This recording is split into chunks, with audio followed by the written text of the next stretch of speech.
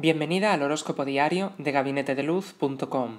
Recuerda que si necesitas ampliar más información, puedes llamarnos al teléfono que aparece en pantalla y por tan solo 10 euros la media hora te atenderemos con total profesionalidad. Hola Aries.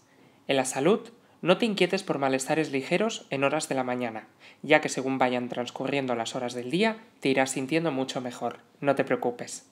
En el trabajo, hay una dinámica algo complicada en tu signo al comenzar estos días se trata de una diferencia entre lo que deseas y lo que puedes. Es hora ya de establecer lo que es realmente un sueño, un deseo o una necesidad.